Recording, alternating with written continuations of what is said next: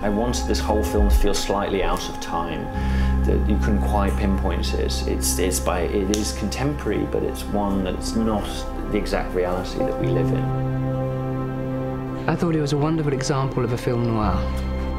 They're heroes that you, you don't really know where they came from, you don't really know where they're going, but you know that they're, they're carrying within in them a dark past.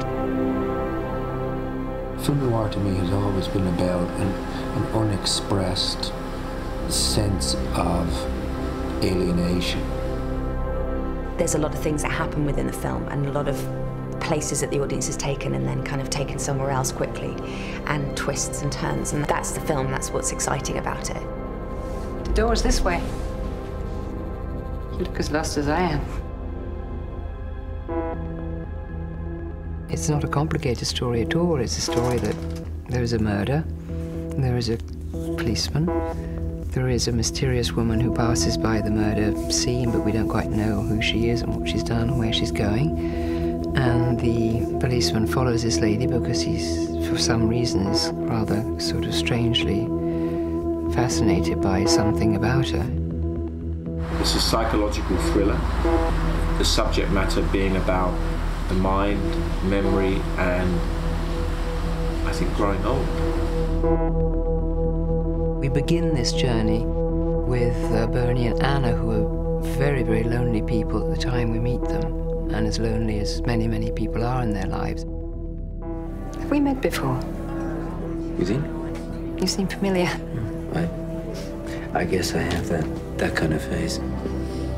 It's a nice face. I don't know why it is that people connect. We can bring our own sense of need and longing and yearning to another person. I think you're attracted to somebody who has lived somehow a parallel life to your own, that there are connections along the way that make it possible to intimately relate to each other, not quite knowing why. Um, and action! This kind of character I really love to play. Say she's a fallen femme fatale. She's a femme fatale that has been uh, trapped by her own mistakes. Did Allegra get lucky? Amy. Well, did she? We capture her at a point in her life when she is holding a tragic secret that we find out about at the end, which completely changed her forever. There are people that you want to see on screen. Wow. It's just clear from the very first moment that there was this electricity between, between the two of them. I always wanted Gabriel on this film because he is absolutely Bernie to me. He is that very soulful, very um, inhabited person. Gabriel's inner world, I knew, um, had a resonance with mine. If our relationship on screen works, that there's a, there's a reason why. Tonight, She's Charlotte Rampling. oh, tonight, Like many people kind of brought up with these iconic images of her. oh, tonight. I've seen pictures of Charlotte Rampling with people in photographs who melt away and you're just drawn to that. One of the most photographable faces in, in modern cinema. Be all the things that you hope for intriguing, provocative, and to touch something deep. You, you remember something that touches you deeply.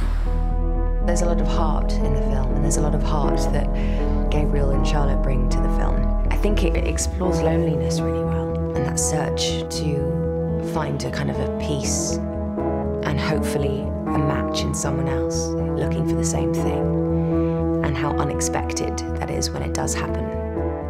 My influences for this film are very much French cinema of the 70s and 80s. The great tradition of great noir relationships.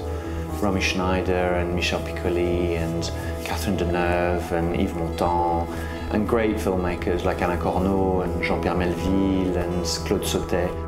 There's a, an elegance and an emotional modesty and reserve to that cinema which I find really quite exciting and beautiful. And this is my version of it.